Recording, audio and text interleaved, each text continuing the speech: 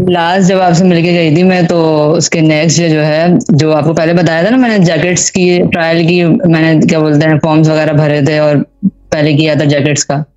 Okay okay. तो जब last आपसे मिलके गई थी तो नेक्स्ट डे जो है खुद ही कॉल आई थी उनके वहाँ से अगेन ट्रायल्स के लिए। ठीक है।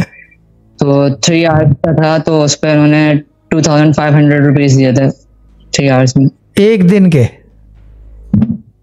जी जी। तो दस दिन कर लेना था भाई।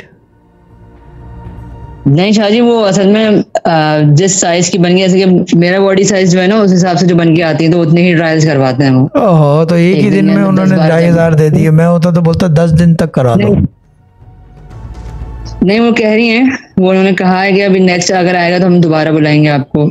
उसके फिर अलग होंगे पेमेंट ठीक है गुड है। अगर दस दिन आ जाए तो फिर अच्छी दिहाड़ है ये। दस दिन के ढाई हज़ार से कितने बनते हैं